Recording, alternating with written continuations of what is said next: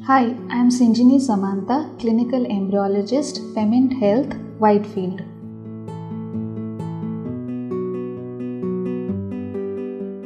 Usually, in an IVF cycle, we will be having multiple embryos of good or average quality available after an embryo transfer. These embryos can be stored or frozen with us for use in future. In case you uh, fail a fresh cycle IVF, these embryos can be used for a transfer in a frozen transfer cycle. In other cases, you can also opt to donate these embryos to an anonymous infertile couple.